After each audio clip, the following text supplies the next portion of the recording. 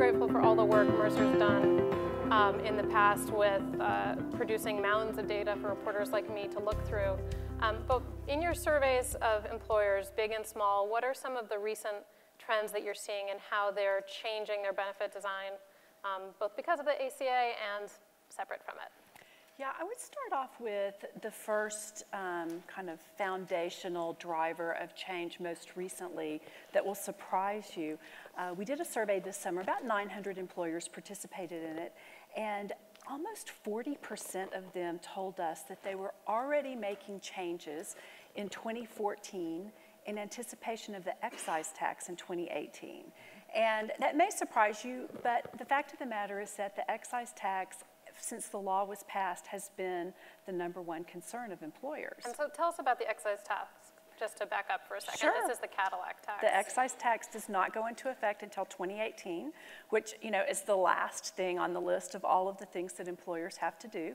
And it is a 40% tax on the cost of benefits above a threshold. So if you have a high cost plan that exceeds the threshold, you as the employer are taxed 40% on the amount above that threshold. And so you see employers already responding to that even though the rule doesn't take effect for four more years? They're already responding. They are moving people into consumer directed plans, which, um, for those of you that aren't familiar with that term, it's basically a high deductible PPO that has an account alongside it, whether it's a health reimbursement account or a health savings account. And the interesting thing is that from our survey, we know that those plans, the consumer directed plans, cost about 20% less than a PPO plan. So it enables the employer to basically reset the benefit value as the basis, as a core plan offering for providing benefits. And, um, you know, it more than meets that 60% plan criteria under the Affordable Care Act. So you see employers moving more, pay, more workers into these high deductible plans. What about, um, there's been a lot of concern that employers will stop offering insurance altogether, um, perhaps the most extreme end, and then you see employers such as Walgreens, we heard from earlier today, moving uh, their workers into private exchanges. How do you see both uh, the movement to private exchanges and public exchanges playing out? So um, we've been asking employers every six months since the law was passed what their plans were, whether or not they would consider exiting um, providing health insurance once the public exchanges go live. And the, probably the highest percentage that we saw was around 8% across all size employers. Um, it's, it's right around 6% right now with our most recent survey. Now, I will tell you, when you look at small employers versus you know, anybody that has more than 500 employees, those on the smaller end of the range, you know, it's about a quarter of them that would consider um, exiting and sending their employees to the, to the public exchange, whereas on the larger end of the scale, you know, it's 5% or less of employers that are saying that they would do that. So that's the public exchange. And is that really because the penalty for not offering your employees insurance is just so much smaller than the cost of providing that insurance? Why do you see it concentrated among small employers? I think, you know, for small employers, they are the buyers in the insured marketplace. And with all of the changes under the ACA, you know, all of those patient protections have a cost associated with it. And so um, that combined with the underwriting guidelines and the taxes and the fees, and you know, when you add it all together, it just becomes a really large financial burden that you know many of them would you know appreciate having another place to send their employees. But what I will say when we segue into private exchanges, um, you know, using our own experience as a case study, we've signed up um, 33 employers for our private exchange starting in 2014. And the interesting thing is that the groups in there range in size from 100 employees to 30,000 employees. And so it's a huge mix. About three quarters of them are actually 2,000 employees or less. And what that suggests is that that um, approach is a pretty good vehicle for a middle market size employer that's looking to save money, provide choice, get some support for compliance, and make their employees happy. Just to be clear, to define for the audience what a private exchange is. It's more like a change from a defined benefit contribution that we used to see in pensions to defined contribution that you see now. Is that a Not necessarily. I would describe it as, you know, think about Amazon.com for benefits. You know, it is a benefits marketplace where an employer provides funding and the employee goes shopping for their benefits and they pick exactly, you know, what they want to meet their needs. In ours, it's not just medical, but it's medical, dental, vision, life, disability, voluntary, everything. Um, the other thing is that of our 33, only half are going to find contribution. So the other half are sticking with price tags on their benefits. Those who were self-insured before are staying self-insured. Those who were insured before are staying insured. Why do you think that is? Why the reluctance to move to defined contribution? You'd think that clearly it would offer a lower price for employers. Um, you know, I don't know about the audience, but our experience is that employers like to make gradual changes. They like to ease their employees into something that's brand new. And so, you know, depending on how big of a hurdle it would be for them to get all the way to defined contribution, they may have just decided, let's get on the platform, let's, you know, go with the administration, the choice, you know, all of the other aspects, and we'll get there, you know, over a couple of years with the defined contribution. Thank you. So, so John, at Yes. ADP, you have a huge amount of real data uh, that you can mine for, for information uh, about how employers and employees are adapting. What are you, what are you finding in your mounds Well, of data? a couple of things we're finding. In a recent uh, study we did, uh, there's a lot of confusion around healthcare reform. Uh, and the two key areas are really on the excise tax uh, as well as the uh, shared responsibility, the employer mandate. The excise tax is a big one um, in particular, and, and it, I, I think employers were going to have to do something about healthcare costs anyway, so the excise tax is not necessarily the, the key thing driving it, but it's probably become the, the trigger to make them take action. Because if you go back and you look at, for 48 consecutive years, we have not had a single year where per capita healthcare spending has not increased faster than the rate of inflation. So that's a huge driver. Uh, employers are beginning to make cutbacks in their plans. Um, but getting back to the confusion issue, we have the survey findings found that 70, I think it was 70 or 71 percent of our, our of the uh, not survey, the data we pulled, clients told us that they were comfortable that they could comply with healthcare reform. But then less than half of them told us they understood the rules.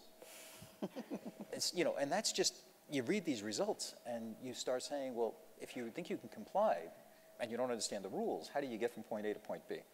Uh, but we are seeing another big issue on the shared responsibility.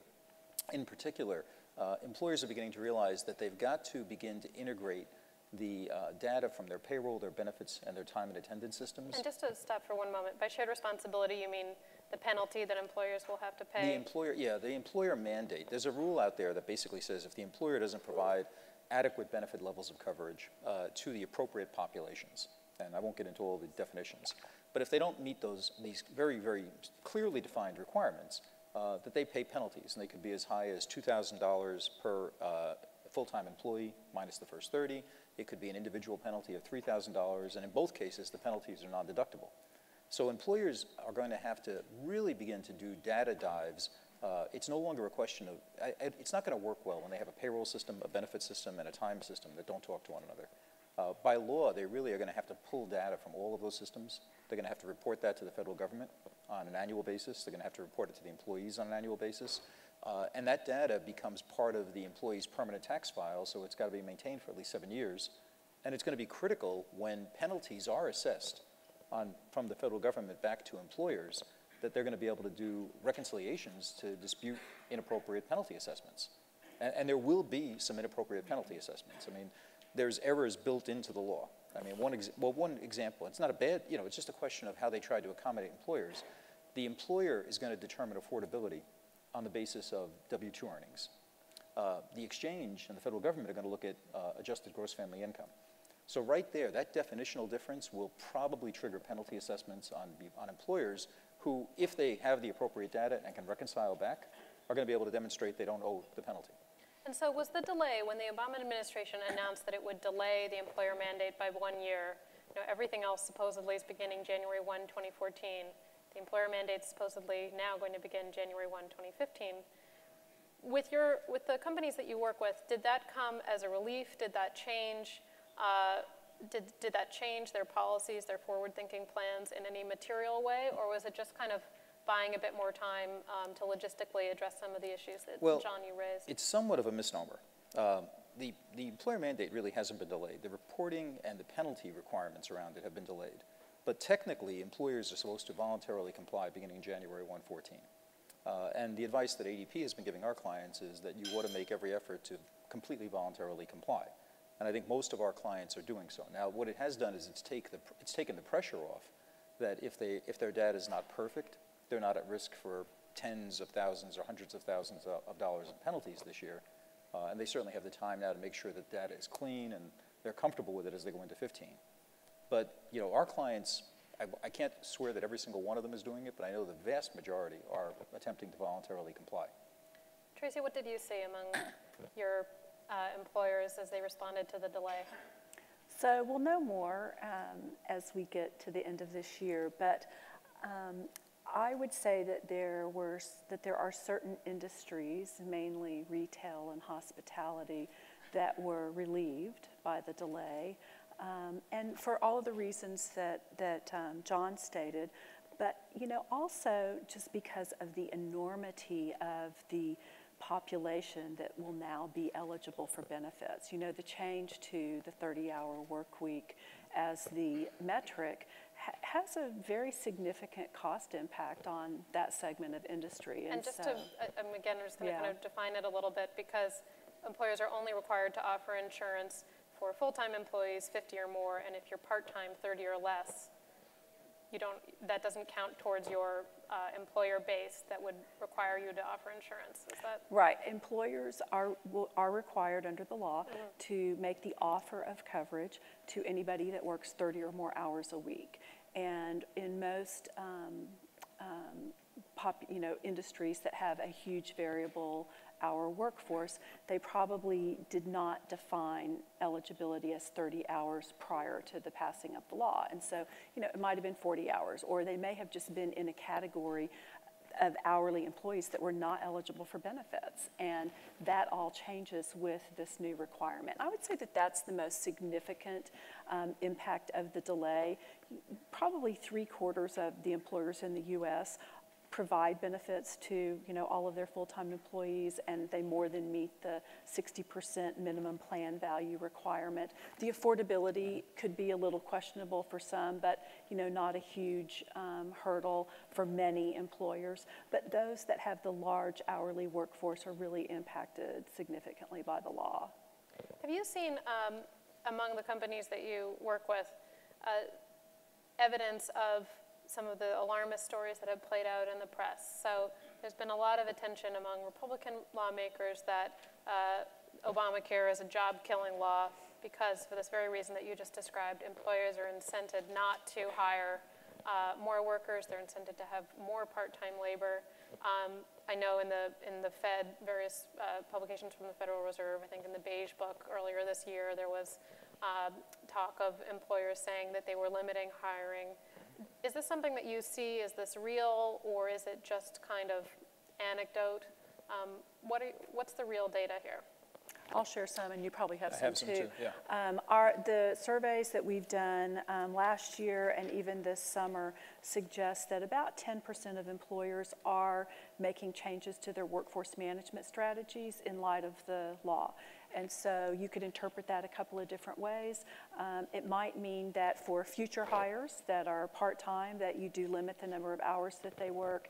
It could be that you restructure your workforce for part-time versus full-time. You know, it could be a number of things, but our data suggests about 10% of employers are considering that. It doesn't mean that they have taken that action, but it is definitely of consideration for business reasons. Yeah, we're, we're seeing basically uh, three trends in the marketplace. Uh, One is to manage the workforce more actively. Uh, So we are seeing some of our clients, and I don't, I don't have specific data yet because, you know, the year hasn't quite begun, but um, we are seeing clients move more people to part-time status uh, or, and/or decide to actively manage people who are part-time actively below 30 hours. Uh, So frequently, they're setting a 27 or a 25-hour threshold, and that, they're using that as kind of their bar to make sure people don't exceed the 30. Uh, We are also surprisingly, though, seeing a trend, uh, and it's very unique to certain types of organizations, to move more people to full-time status. Uh, In particular, I've seen this in professional services firms where they have very few part-timers to begin with. And what they've done is an assessment that says, I can make these people full-time and actually save money in my administrative costs in terms of not having to track hours of service.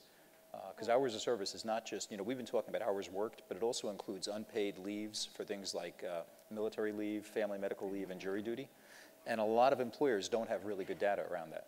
So what they found, if they have very few part-timers, it may make sense to move them into a full-time status. And then I think the overwhelming majority, probably 75 to 85 percent, and we'll have better data as January kicks in, uh, are not doing much of anything. They're going to comply with the law, but they're kind of going to ride it out for a year and get a better handle on what it really means in terms of the impact. What about the shop exchange? So um, maybe if one of you could provide an overview of what it is and some of the challenges that we've seen in having it come to, come into existence. You want to take a crack? Well, I will help define it. So the shop exchange is an opportunity for small employers to purchase health insurance for their employees through the um, public exchange, through the public marketplace. Um, It got off to a fairly rough start, I think that's fair to say. And I'm not sure that it is fully operational. I don't know that any groups have enrolled in it. I think that that I think enrollment to may be delayed. End of November, mid to end of November is what they've said now. Yeah. And the concept originally was going to look a lot like the public exchanges are supposed to look like. So conceptually, small employers were going to be allowed to offer their employees virtually all the plans that are offered in their state exchange. Uh, Now, what happened is the administration, one, has been delayed, and two, at least for 14, the employer is going to be limited to a single plan that he can, he or she can offer their employees. So what they'll do is they'll, they'll go into the exchange and they'll pick this plan and they'll make that available to their employees.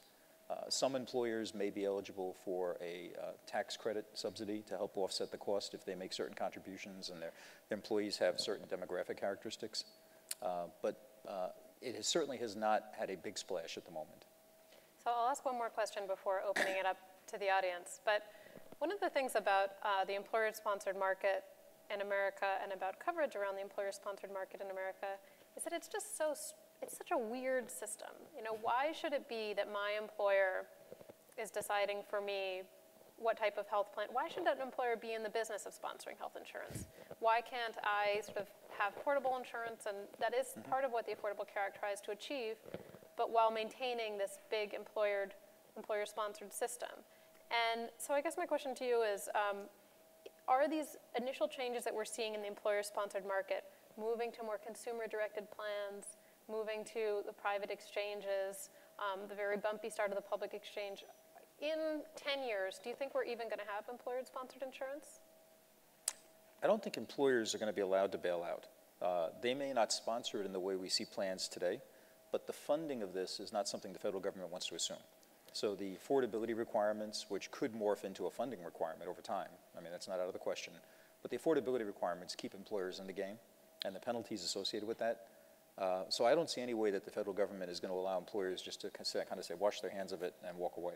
I think what they will do is potentially, uh, my guess is that we're going to see more and more exchange alternatives, what public exchanges, private exchanges.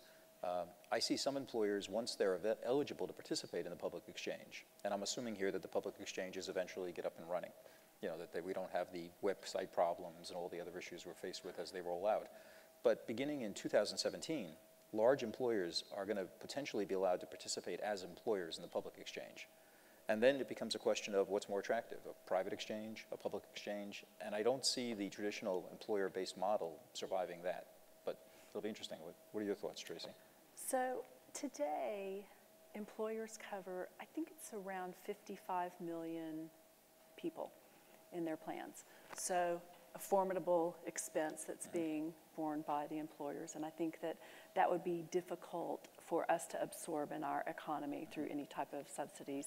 Um, As employers have thought about exiting, the cost associated with that, when you factor in what employees might expect in their compensation, is way greater than what they're currently Because of spending the on. preferential tax treatment for employer-sponsored insurance? it's a number of things. I mean, you pay the penalty, that's not tax mm-hmm. deductible. Um, Currently, probably about 20% of the workforce opts out of benefits. So if you're going to give everybody a sweetener because you're taking away their health insurance, there's not enough money to make everybody happy. The people that, that are only going to buy individual coverage will be fine. those who need family coverage, are probably going to be about $10,000 short, even with the sweetener, of what they're going to need to buy insurance. And by sweetener, you mean raising the salary because right Right, now additional compensation, additional compensation. counteract, right. Yeah, so I think that that, you know, from an economic perspective, is really the issue. Beyond that, I think, you know, healthcare benefits are a- an attraction and retention tool. I think it's a differentiator for employers. Um, I do think that we'll see changes to how benefits are offered. You know, we're already seeing that in the movement to consumer-directed plans and the private exchanges, but I think that, that they'll still be around. Okay, so any questions from the audience on employer-sponsored insurance or some of the changes we see among companies? Yes. Um, A microphone will come to you.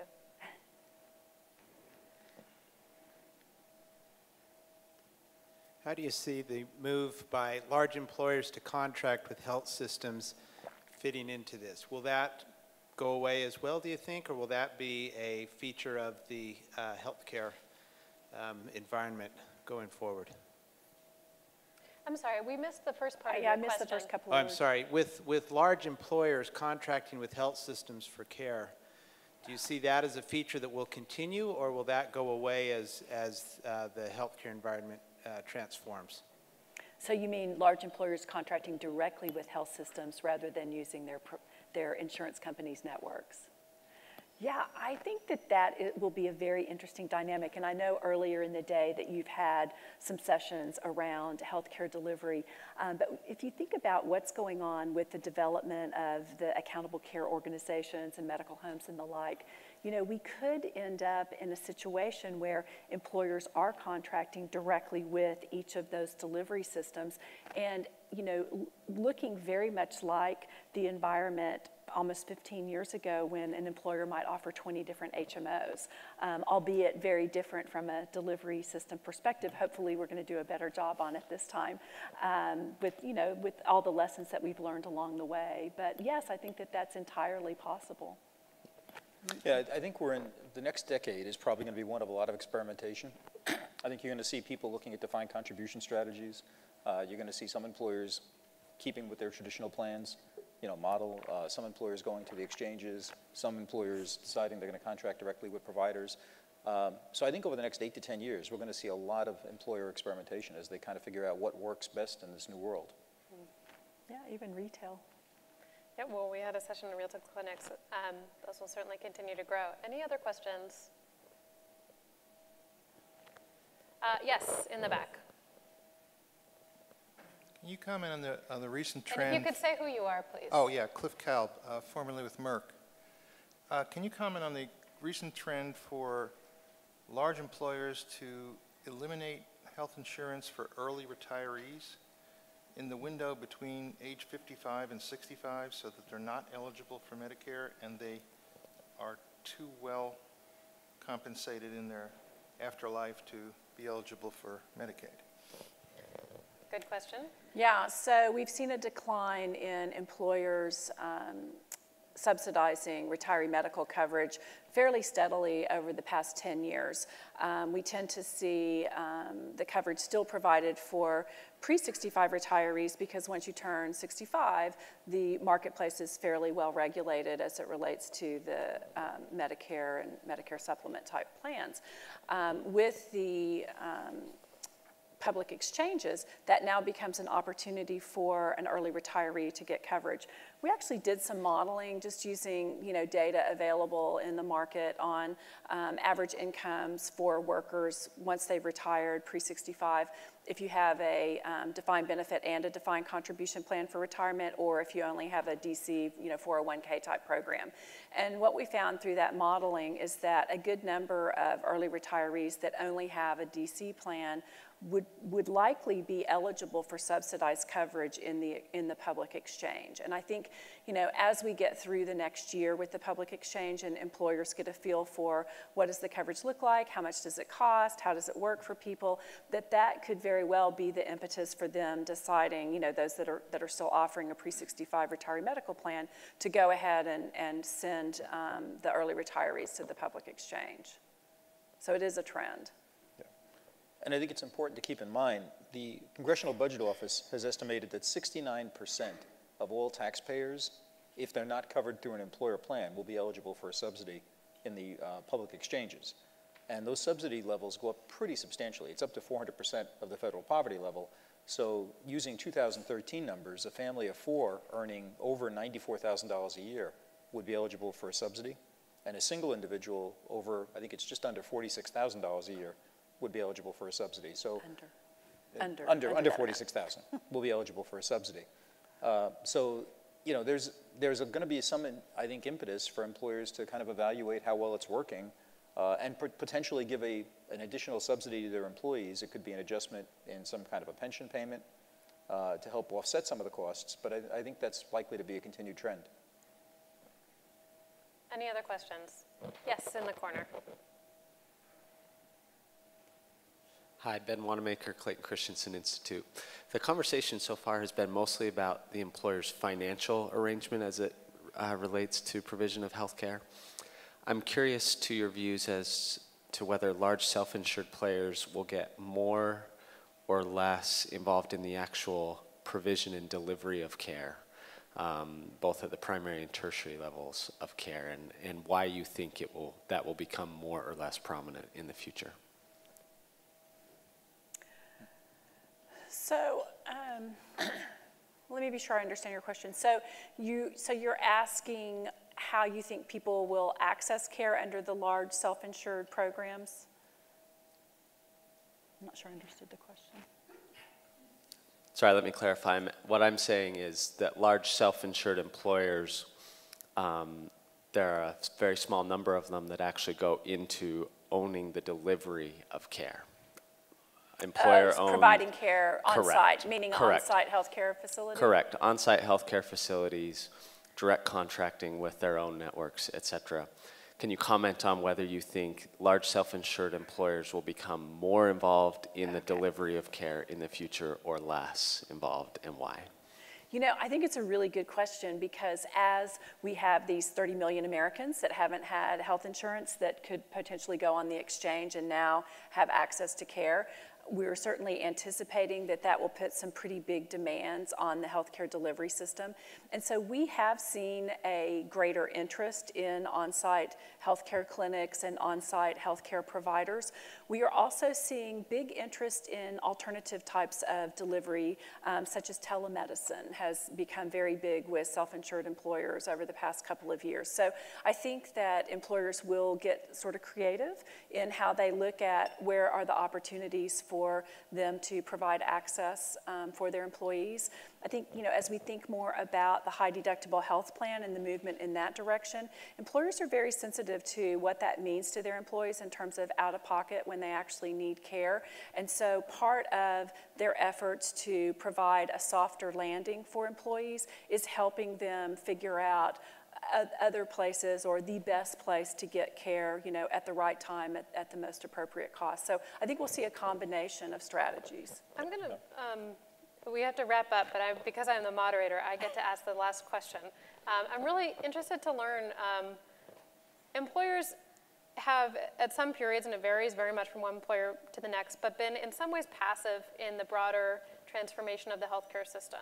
Um, and I'm wondering whether, you, and you may take issue with that, but I'm wondering whether you see employers increasingly um, driving some of the changes that we've talked about today, whether it's really pushing um, consumers to, uh, to value-based products, which they are already starting to do, or really trying to incent, um, incent employees to take care of themselves through wellness programs.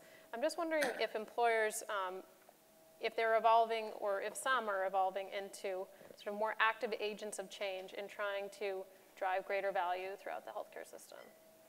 I think the answer is yes, and I would put out as evidence for that.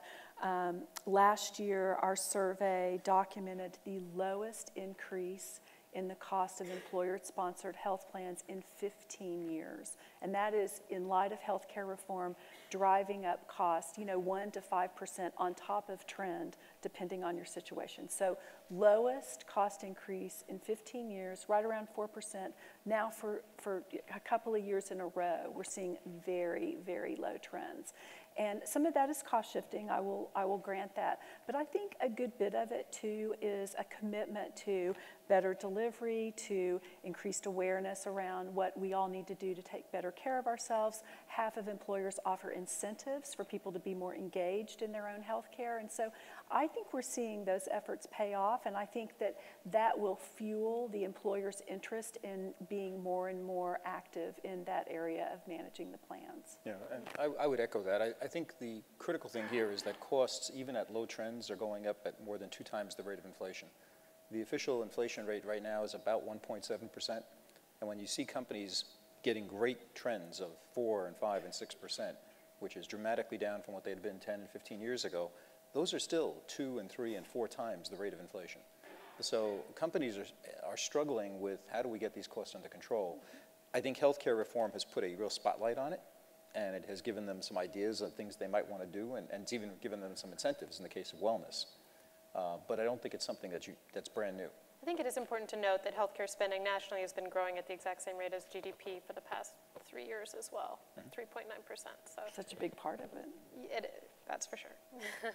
um, though that it has been remaining steady if you're going to really search for some kind of icing on a bungled cake or I'm not sure what the metaphor is, but um, I think that on that note, we're going to end the panel. There's clearly a lot to come as employers try to navigate this changing environment of the ACA. Um, big changes coming for employer-sponsored insurance. So we're very grateful to you for both of your insights, and please thank our panelists. Thank you.